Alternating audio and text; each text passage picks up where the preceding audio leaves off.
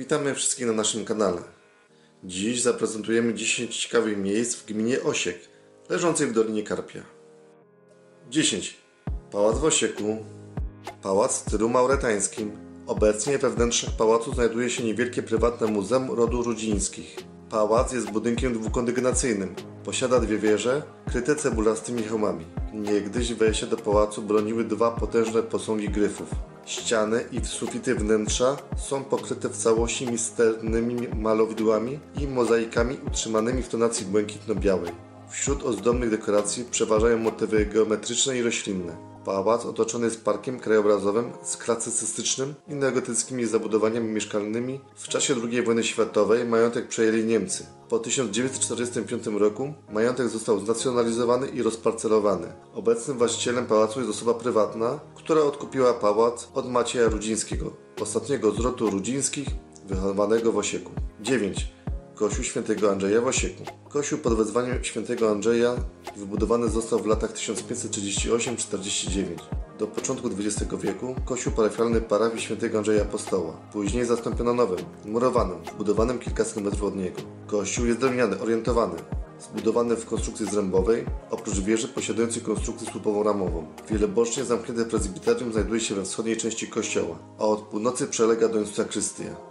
Całość pokrywa gruntowy dwukolenicowy dach, co jest bardziej charakterystyczne dla drewnianych kościołów typu śląskiego niż małopolskiego. Nad wnętrzem góruje płaski strop ze śladami renesansowych kasetonów, poniżej których jest również renesansowy fryz. Najstarszą częścią wyposażenia jest pochodząca z poprzedniego kościoła XVI-wieczna gotycko-renesansowa kamienna szczelnica z herbem Fogelweder. Na belce tęczowej mieści się wyrzeźbiona grupa ukrzyżowania.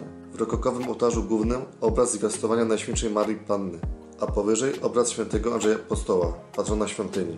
Powyżej drzwi do zakrystii znajdują się przyniesione z bocznych ołtarzy epitafia Beaty i Mikołaja Poremskich z Mirowa. Na północnej ścianie prezbiterium umieszczona jest XVIII-wieczna ambona w kształcie Piotrowej w Łodzi. W prawym ołtarzu bocznym mieści się XVII-wieczny obraz świętego Karola Boromeusza, a w lewym Matki Boskiej Piekarskiej. 8. Kościół Matki Bożej Szkapleżnej w Głębowicach. Zabytkowy kościół drewniany wybudowany w 1518 roku. W następnych stuleciach kilkukrotnie przebudowany, co znacznie zmieniło pierwotny wygląd kościoła. Kościół jest zorientowany na planie Krzyża Łacińskiego. Prezbiterium z zewnątrz jest zakryte przez dwie przylegające do zakrystii kaplice boczne. Od zachodu do drewnianej, oszalowanej nawy przylega również drewniana wieża. Całość poza wieżą jest przykryta jednokolenicowym dachem krytym dachówką. Wieża zakończona jest blaszanym hełmem z iglicą. W 1860 roku do prezbiterium dobudowano murowaną kaplicę fundacji Duninów, której katakumby umieszczone są pod nią. Drewniane prezbiterium zostało zastąpione piętrowym murowanym w 1931 roku. Dołączyła do niego również druga murowana kaplica. 7. Stawy osieckie.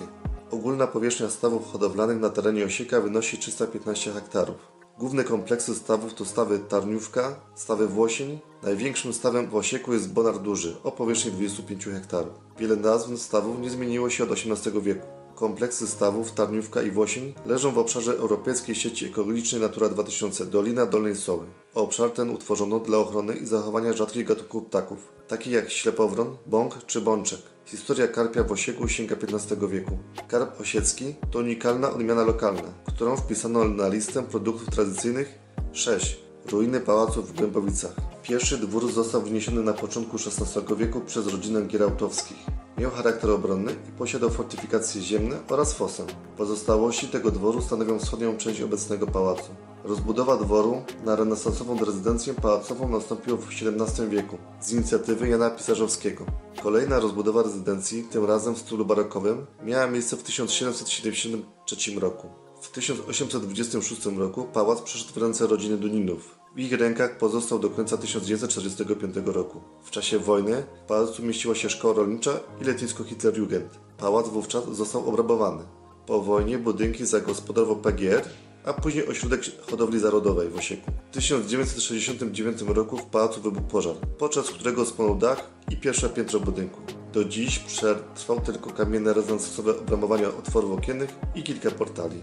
5. Kopiec grunwaldzki w Osieku. Kopiec o wysokości 4 metrów, którego geneza nie została wyjaśniona. Na ściętym wierzchołku w 1775 roku postawiono krzyż, a w 1820 roku kapliczkę. W 500. rocznicę bitwy pod Grunwaldem w Wmurowaną oryginalną kulę armatnią znalezioną nieopodal. Kapliczkę otaczają cztery ponad 150-letnie olipy. 4. Resort Molo. Molo Resort to połączenie nowoczesnej architektury wkomponowanej w malowniczy krajobraz Zalewu Beskidzkiego. Hotel, restauracja oraz pole kempingowe tworzą wyjątkowy charakter miejsca, zapewniając swobodę i kameralną atmosferę. Na gości czeka wiele atrakcji. Basen, jacuzzi, sala fitness, kręgielnia, bilard oraz bogate zaplecze sportowo-rekreacyjne. Baseny, korty tenisowe, boisko do siatkówki, rowerki wodne, kajaki, rowery, łowisko, plac zabaw dla dzieci, ścieżka rowerowa oraz lodowisko w okresie zimowym. 3. Izba Regionalna w Osieku. To niezwykła kolekcja Mariana Kocemby, mieszkańca Osieka, który zgromadził kilka tysięcy eksponatów, nie licząc dokumentów, zdjęć i książek.